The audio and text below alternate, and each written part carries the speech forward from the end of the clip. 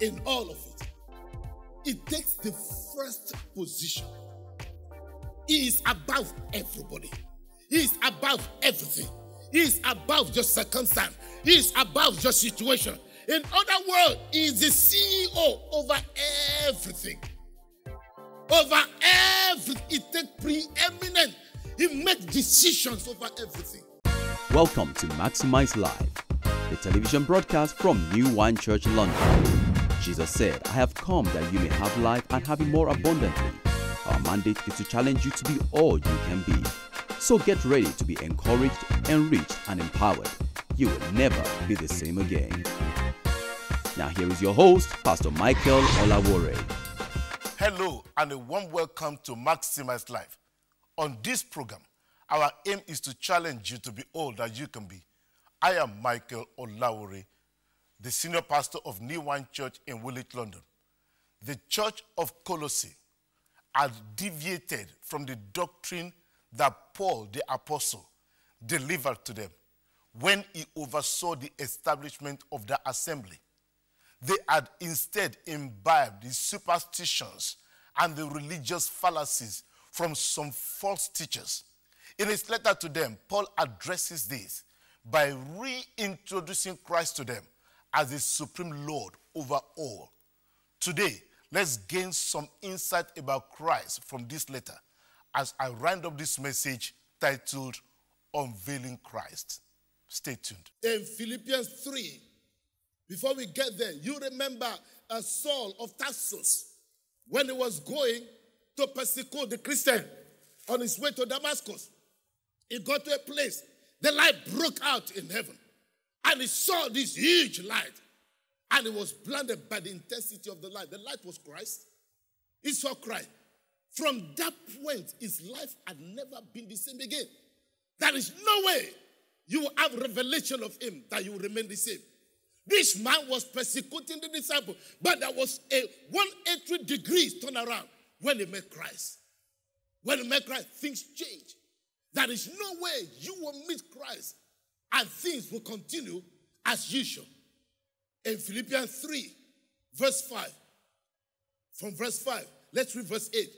Yes, everything else is worthless when compared with the infinite value of knowing Christ Jesus, my Lord. Everything else is worthless when you compare with the knowledge of knowing Christ. Everything else is worthless. That in verse 10, Apostle Paul said, I want to know Christ. I want to know Christ because he's a game changer. He's a difference maker. I want to know Christ. Praise the name of the Lord. In Acts 20, above verse 24, but none of these things move me, nor do I count my life dear to myself, so that I may finish my race with joy and the ministry which I received from the Lord Jesus to testify to the gospel of grace of God. When you know Christ, nobody forces you to serve Him. Nobody calls you to come to church. Nobody. Nobody has to cajole you or drive you or pump you or preach sermon to you to come to church because there is something that is ignited in the inside of you the Bible says, as the deer pants after the water brook, my soul long after God. When you know Christ, everything changed. Praise the name of the Lord. Because in him is all that you will ever need. This was the state of the church in Colossae. The church in Colossae started very, very well. Absolutely well. But along the line, Paul had to write to the church, Colossian church, because they had become distracted from Christ. They no longer esteem Christ the way they started. They became occupied with other things. They became occupied with the law, with Sabbath, with the worship of the moon. All right. Do you know in 21st century, a lot of us too have been occupied with other things. Other things. They have dethroned Christ and they're no longer holding fast to the head, who is Christ. the relationship between the head and Christ got lost. And Paul had to write the church in Colossae that look, something fundamental is missing here. I have, as an apostle, obligation to reintroduce Christ to you. And that's what I want to do this morning. I want to introduce to you your Jesus, my Jesus, your Christ, and my Christ. Let's go to Colossians chapter 1. We'll read from verse 14. Paul, the first thing he said in verse 14, in whom we have redemption. In Christ, the church in Colossae, only in Him we have redemption. Your redemption is not in the Sabbath. Your redemption is not in worshiping of the moon. It's not in worshiping of the angel. It's not in worshiping of money. Your redemption is in Christ, in whom we have redemption through the blood, through his blood, and the forgiveness of sin. Verse 50. He is the image of the invisible God, the firstborn over all creation, by whom all things were created. Everything was created by him. That in heaven and that are on earth, visible and invisible, whether throne or dominion or principalities or power, all things were created through him and for who? He owns everything. No wonder he asks you, pay attention, abide in me. I've got what you need. Because I own everything. Everything belongs to me. You abide in me. Verse 70. And he is before all things. And in him all things consist. And is the head of the body, the church, who is the beginning, the firstborn from the dead, that in all things he may have the preeminence. Listen to that. We have redemption through his blood. He is the image of the invisible God. He is the firstborn of all creation. By him, all things were created. All things were created through him and for him. He is the he is before all things. In him, all things consist. He is the head of the body. He is the beginning. He is the firstborn from the dead. He is the preeminent. In other words, it's everything you will ever need. It's everything. It's everything. And out of his wisdom, he invited you and me. Say, don't ever forget who you are. You are the branch. I am the vine. For you to live a sustainable life, you got to abide in me. You got to abide in me. This is the time that the church must catch this revelation. One of the profound insights into the revelation of vine and the branch is that we have to respond to it. In Colossians 1, verse 12, giving thanks to the Father who has qualified us to be partakers of the inheritance of the saints in the light. And that inheritance is Christ Himself. He gave you the opportunity to partake of Christ. You are a partaker of Christ. Say, I am a partaker of Christ. Say, I am a partaker of Christ. Say, I am a partaker of Christ. You are a partaker of Christ. Everything that I've just described to you, you have access to them. He qualified you to have access to them. Praise the name of the Lord. Now let's analyze the writing of Paul to the church in, in, in Colossae. The first thing he said, number one, Christ is the firstborn of the entire creation. He is the preeminent in all of it. It takes the first position. He is above everybody. He is above everything. He is above your circumstance. He is above your situation. In other words, he is the CEO over everything. Over everything. He takes preeminent. He makes decisions over everything. Over everything. All things, visible and invisible, were created by him, through him, and for him. He is the originator of all things. And he is the goal, the objective, the destination of all things. He is everything that you need. Praise the name of the Lord. That is why you must never struggle in life again. Never, never again struggle.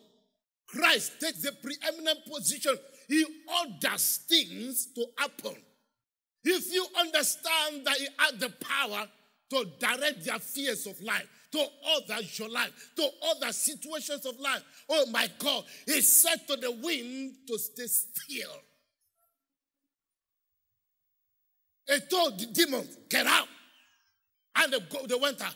Oh my God, he spoke and sickness disappeared. Because he is preeminent, he is above all things, he has authority over all things. If you know who your Christ is, that changes game. That changes game. Number two, he said, Christ existed before time.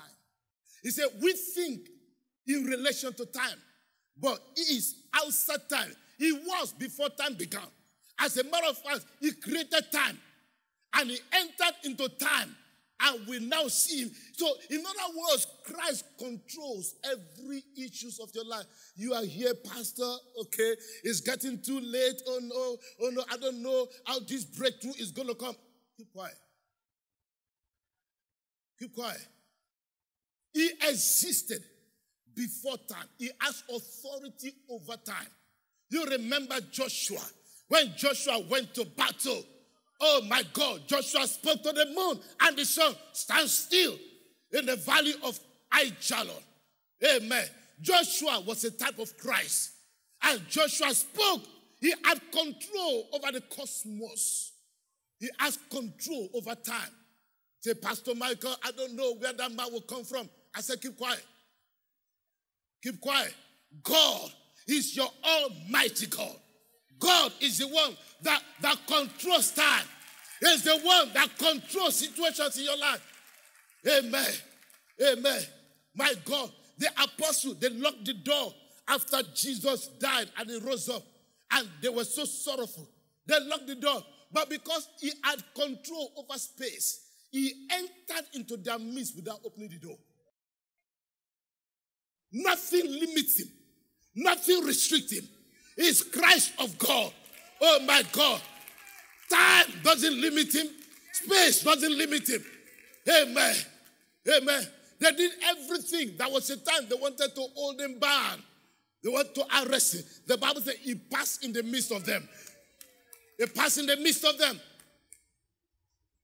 If you know Christ, your life changes forever. He has control over time. Time does not control him. Time does not influence him. He influences time. Oh, he has concluded the affairs of your life before your life began in the natural. Praise the name of the Lord. Everything you are seeing today is only a replay of what he had already concluded. Say, Christ controls time. Number three, Christ is not only before all things, the entire universe is held together by Him. The entire universe. Oh my God. My God. Have you ever wondered, since the day you were born, why the sky has not dropped? After all, there was no pillar supporting it. Have you ever wondered? Have you ever wondered why the Saturn and the Pluto and the Jupiter have not collided? Have you ever wondered? Because something is holding it together. Have you ever wondered why you are still alive? Have you ever, for, for the trouble you've been through, for the pain you've been through, oh my God, the devil dug the grave for you, thinking you will die, but you are still here. Have you wondered? Have you wondered? Somebody holds you together I say, I will not lose you. He said, Those that the Father has given me, I will lose no one. He held it together. Somebody's holding you together. That's why it's not possible for you, for the devil to have you for dinner. You think it's your effort? You think it's your contract? You think it's because of how much money you make? Oh my God. Oh my God. Christ is the force that holds it all together. Amen. He holds you together. If you understand that, Believe me, you will not stress another day in life. The Bible says in verse 4, sorry, number 4, Christ is the very meaning of creation. When you eliminate Christ, the universe has no more purpose. Your life has no more purpose outside of Christ. You understand that? Your relevance in life is because Christ is in your life. When you remove Christ, it's empty, it's futile, it's non existent, it's nothing. Your life is productive, is thriving today, is expanding and enlarging and excelling and multiplying because Christ is in you. Christ is in you. All right, let's backtrack a little bit. Uh, 20 years ago, before you got saved, those who got saved about 20 years ago, could you imagine the life? Somebody's laughing now. Could you imagine the life you used to live? Futile in your understanding, wicked, debased, no covenant with God. But God, in His mercy, the Bible says, God who is rich in mercy. God who is rich in mercy, He brought you this far. You are okay. You look great. You look good. Glory is on you. Beauty is radiating on you. Oh my God, you look so. Mm, because Christ is in you. Oh my God, somebody ought to shout here. Oh my God, that brother is chasing you about. It's only because Christ is in you. If Christ is not in you, even me, I won't chase you.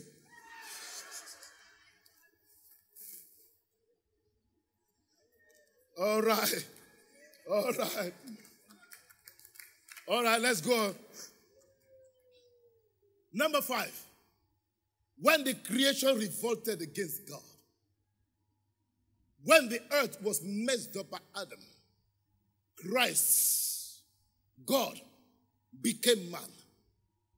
He was arrested, tortured, crucified, nailed to the cross. You know the reason for that? To reconcile you to God, to bring you back to the original state you were with God, the sinless place you were with God. That is who Christ is. And after he reconciled you to God, he created in himself new humanity. We call this new humanity ecclesia. Ecclesia is the word for church. Church. And he becomes the head of the church. Praise the name of the Lord. Say, I am redeemed by Christ. Number six, this Christ triumphed over the greatest enemy in history. He triumphed over death. He triumphed over sin. He triumphed over the grave. Oh my God. Then he gave you the authorities to trample upon serpent and upon scorpion and over all the power of the enemy. And nothing shall by enemies have hurt you. That is who this Christ is. The one that defeated death, grave, sin. In other words, death, grave, sin, and everything the devil could bring your way have no more power over you. No more power over you. No more power over you. Praise the name of the Lord. In Revelation 1 18, he said, I am he who lives. I was dead.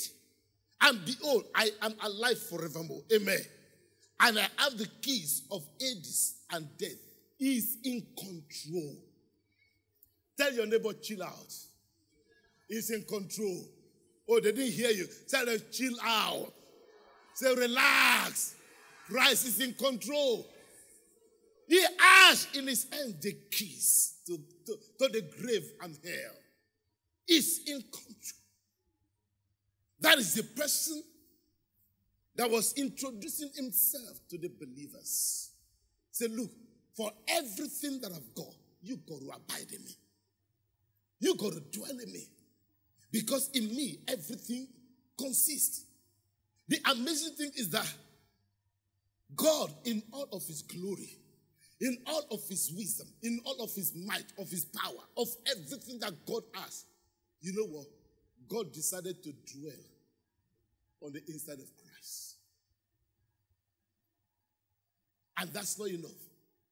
Christ now took himself will God inside of him dwell on the inside of you. Oh my God. Lift up your hand. Ask, those shall ask Holy Spirit to reveal Christ to you. Ask Holy Spirit. Because to comprehend the wealth of what I just shared with you today, you need the Holy Spirit. Holy Spirit will ask you, God, to reveal Christ. Father God, to every man, every woman, every boy, every girl. Father God, reveal Christ to us. We bless your name. Thank you, Lord. Amen. And Christ said, I am the vine. You are the branches. I've got all to offer you. I am limitless. Everything you need is in me. Now, abide in me. Now, abide in me. Now, abide in me. Because when you abide in me, you can draw of my resources